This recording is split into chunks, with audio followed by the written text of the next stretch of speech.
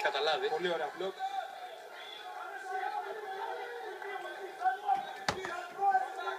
Ξεκινάει το δεξιό ο Μιχάλης, αποφεύγει ο Γκογκόχια και προσπαθεί να τον κρατήσει μακριά. Ο- Έχει ωραίους πυγμαχικούς βηματισμούς πάντως ο Γκογκόχια.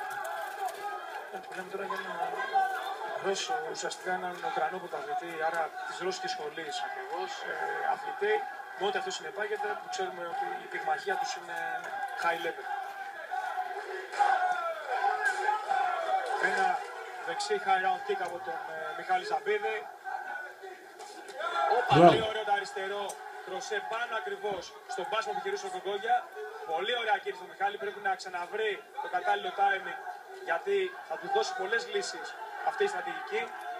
Πάνω ακριβώς δηλαδή στο βηματισμό που μπαίνει ο αντίπαλος θα του περάσει πάνω από την κάρτα του το αριστερό κροσέ. Είναι ψωμάκι για τον Μιχάλη αυτές οι κόντρες, πραγματικά. Είναι σήμα κατά τεθέν Μιχάλης Σαπίδη.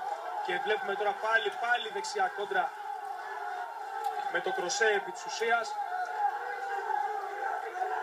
Αρχίζει και ανεβάζει στροφές ο Μιχάλης Σαπίδης. 30 δευτερόλεπτα πριν το τέλος του δεύτερου Και γύρου. βλέπουμε τώρα τον Κογκόγια να μην είναι τόσο προσιλωμένος γιατί εμφανώς έχεις ζαλιστεί από το αριστερό κροσέ. Και πέρασε άλλο ένα αριστερό Άλλο προς ο ένα. Μιχάλης. Ε, πλέον ο Γκογκόχια, άμα δεις, δεν είναι τόσο επιθετικός, κάνει και βήματα πίσω. Πράγμα που σημαίνει ότι έχει χάσει την αυτοπεποίθησή του. Το βοηθάνε βέβαια και τα πολύ μακριά άκρα που έχει. Σίγουρα. Δεξί high round kick, πάλι μαζεύει κι άλλο ένα σημείο ο Μιχάλης Ζαμπίδης. Ο δεύτερος γύρος μέχρι στιγμής είναι εμφανώς υπέρ του. Και τελειώνει Αμανάκη. σίγουρα 100% ο γύρος του Μιχάλη αυτός. Ωραίες παρουσίες. Ringers.